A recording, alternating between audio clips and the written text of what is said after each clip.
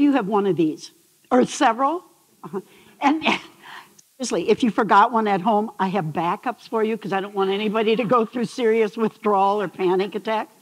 But real honestly, how many of you spend more time interacting with this device than you do with your loved ones, your partners, your children? Be honest with your children. And, you know, some of you are cheaters. You're cheaters. I've seen you in restaurants when you pretend to be present at a hot date, remember? And under the table, you're scrolling. Have you seen people like that? And, and you know what's really sad? Don't do this because with our children, so many parents, and especially after they're under the age of five, are giving this to their kids as a convenient babysitter, and you're doing brain damage. Don't do it. But you know, it looks innocent, doesn't it? And the fact is that, in fact, one of my books is on bullying. With cyberbullying, this cute little device turns into a weapon, and it can be lethal. But you know, over most of Americans are actually addicted to this. It's called digital dopamine addiction. And no addiction is good because it steals our freedom.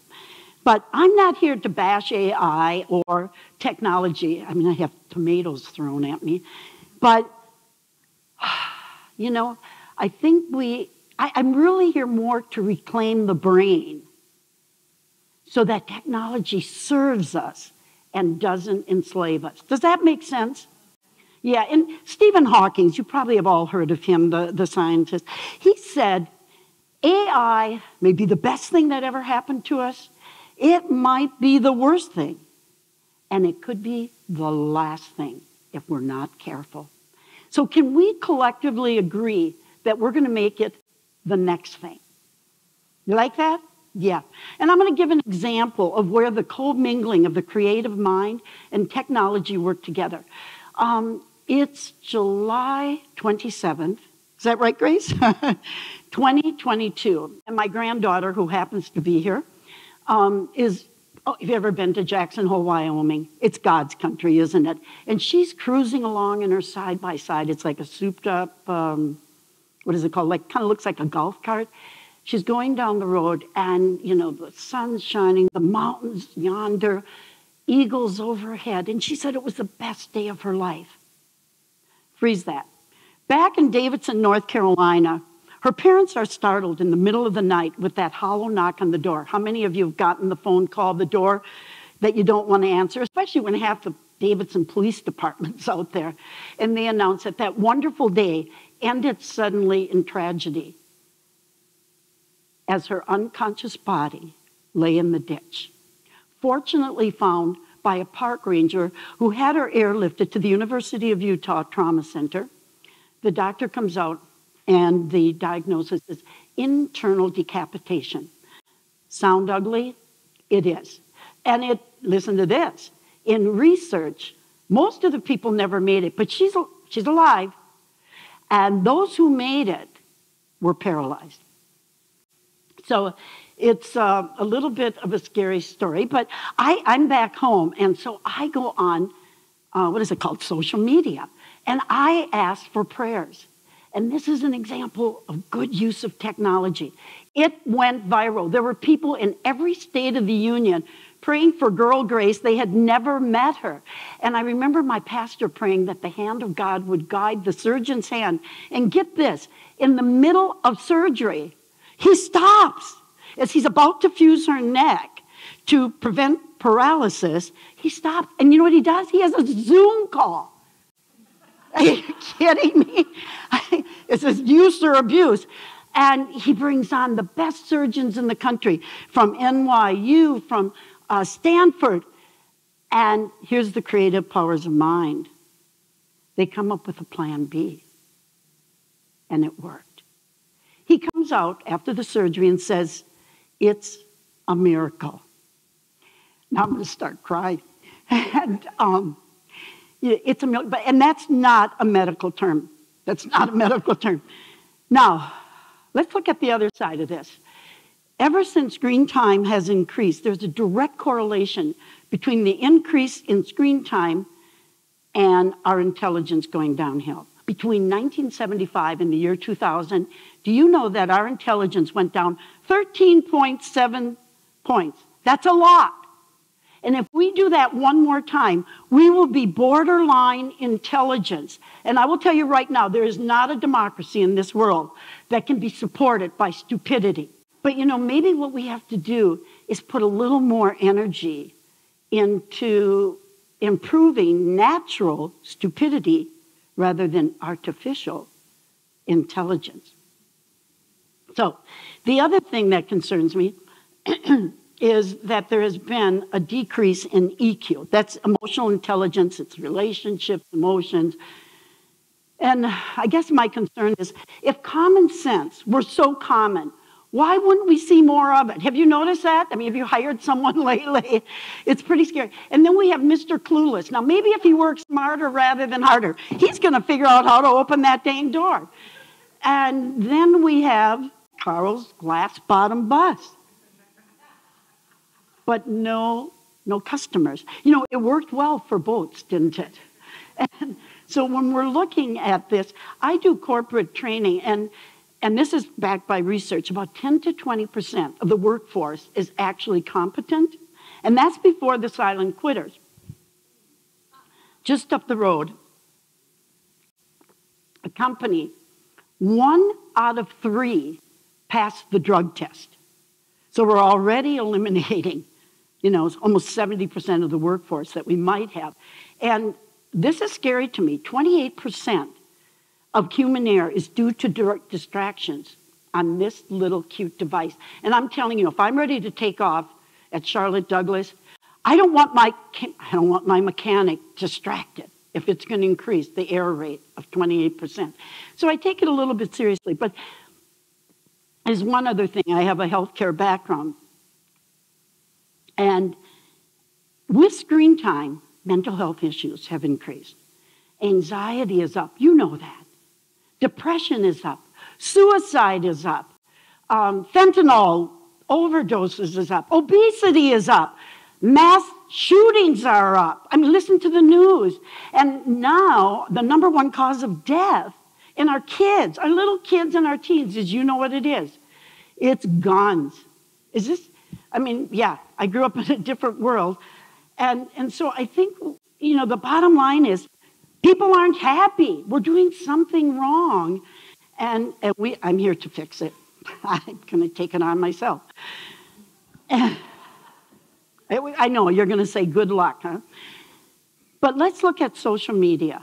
You know, um, I think there's a good use of it. But if you think for a moment that uh, TikTok and Instagram and Facebook, if you think those are philanthropic organizations, come again.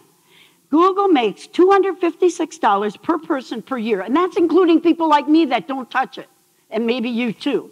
So there is a, definitely a product. But those platforms, get this, they are designed specifically to addict you to create an addiction. And they are succeeding at it very, very well.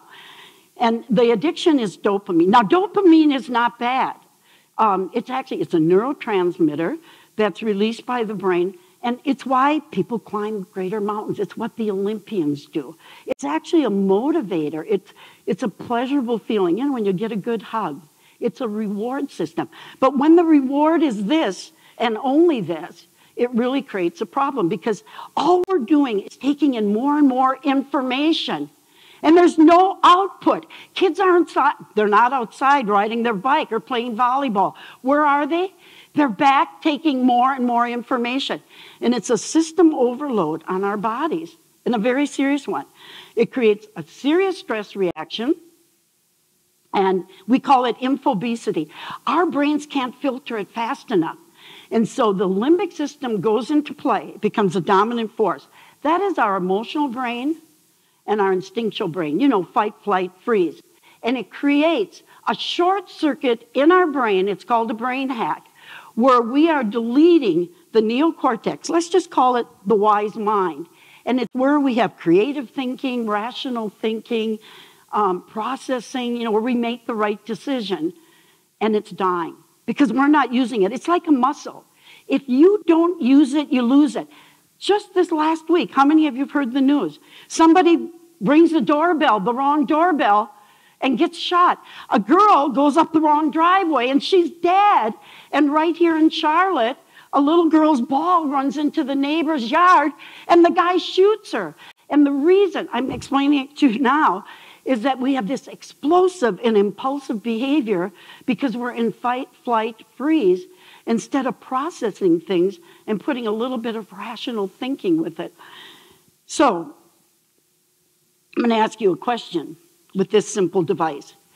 Um, would you give a toddler a, a line of cocaine or, or heroin? Uh, not a toddler, anybody. I, I see some of you under here. um, hopefully not. But do you know that on brain scans, the dopamine that we're getting from this looks very similar to a hit of heroin and cocaine? It's causing brain damage. And I hope you take that seriously because, because it is. So, anyway, I'm going to share with you, let's go to a more positive note, the five C's. Um, and, and this is what makes us uniquely human. And one is consciousness. I don't think a robot will ever have awareness. And, you know, there's altered states of consciousness. In fact, Brenton was talking about that earlier.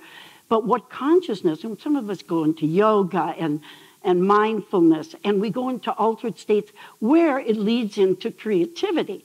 And creativity, let me tell you, there would be no AI without it, right? It's this that even brought it into the world. And uh, being a brain trainer, the best way to break a habit and create new behaviors is visualization, mental imagery, hypnosis, neuroplasticity, where we create new neural pathways in the brain. And I even tell people what you need to do is challenge your kids with healthy boredom. How many times, if your kids are bored, oh, you hand them a phone, push button love, instant success. No, have your kids look deep inside to find that the magic to these answers are within them. And the third one is, is connect. I mean, we live in a world, do these kids look like they're happy? Whatever happened to the lost art of laughter? And, um, you know, it, it scares me because I can tell you, if some of you, did you see Castaways? Tom Hanks, he had a stronger relationship with Wilson, a volleyball, than these kids are having with each other. And unfortunately, it's, it's true. And, um, you know, and there was a, a, recent study out of the University of New Hampshire, and um, this is a little scary. Loneliness is a, it's a greater health risk a greater health risk than smoking 15 cigarettes. That doesn't mean you go back to smoking. I'm not suggesting that.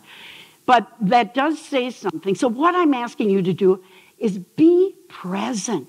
When somebody is talking, put this down and listen. You just may save a life. And the fourth one is challenge. This is where we get healthy dopamine. Um, it's why Tom Brady can't quit football. It's nothing about the ball. It's about the dopamine he gets when he throws the ball well. Why did he finally quit? Because he's not throwing the ball as well anymore, and it's easier to let go of it. And, um, you know, it's, it's Erik Weihenmayer, the blind man climbing Mount Everest. He's blind. It wasn't for the view. It's the process of overcoming and becoming more than you ever thought possible. And I'm going to tell you, as I stand here, I am having a flood of dopamine. And you know, it is, don't tell anyone, but for me, speaking is better than sex. but you know what? I don't have anything to compare it to. So, so anyway, you know, um, the last or the fourth is, is um, the, the fifth is, is challenge. And we, it's like the potter's hand, you know? We get to shape it. Will AI help us or hurt us? It's the action that we take. We have a choice. Computers don't have a choice. Let, but we've been programmed to passivity. Let me ask you a question. How many of you would give me a dollar for this $20 bill? It's a good ROI. Would anybody do it? But you recognize the opportunity, but not one of you came up and did it. We've got to get back. Thank God it's my last dollar, okay? But so we have to get back into being, you know, just engaged and, and going to our happy place. My goodness, we recharge this phone. Why don't we recharge this? Whether it's nature, whether it's the majesty of the mountains, the, the serenity of the lake, the, the drama of the ocean, the quiet woods, take the time to recharge. That's what'll actually save it. But, you know, the bottom line is, it's like the surgeon that day. He, he exercised all five of these. This is grace just weeks after that horrendous but wonderful day. So all of us can make miracles happen if we intermingle technology with the creative powers of mind. And if I look at the brain, and it excites me, I think you can tell that. I, you know, and I often wonder if we would turn it into an app, I bet people would start using it more. and, and so I look at it, and you know what? I, I see hope that there will be another Beethoven, there will be another Einstein, right? There will be, I do too. Um, there, I, I, I see potential, but only if you and I are programming it. And number three, I see possibility, yep, that breakthrough thinking and innovation will continue to be the currency of the future. And if we embrace it, that is only if you accept the challenge, if you accept the challenge to focus a little less on making AI better and a little bit more on making an AI making us better and more compassionate to serve humanity well. And let me just share with you, because I think my whole message is so well summed up in the words of Lakota Sioux. Listen, my children, for when you were born, you cried, and the world rejoiced. But when you die, may they cry, and may you rejoice. Thank you. Thank you, Kevin. Thank you. Thank you.